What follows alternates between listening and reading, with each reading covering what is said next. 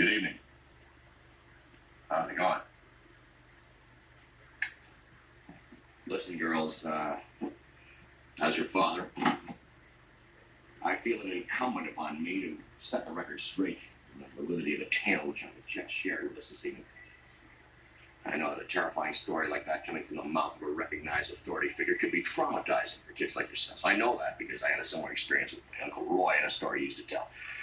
About a family that went into the woods and was attacked by a band of escaped Army psychiatric patients who'd been subjected to violent, hellish, torturous behavior modification experiments. Seems they escaped from the metal boxes the Army kept them in, found this family in the woods, fell upon them, slaughtered them, and ate. Well, now that story it gave me nightmares not to be believed. So I don't want Uncle Chet's bear story to upset you in the same way. I'm here to say that there actually is no bear, and all of what Uncle Chet was saying was just a yarn spinning for our entertainment. And even if there were a bear out there, I'm in the house to protect you.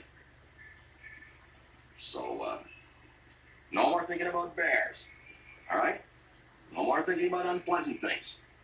We'll close our eyes, dream about nice things, about cuddly, soft, fluffy things.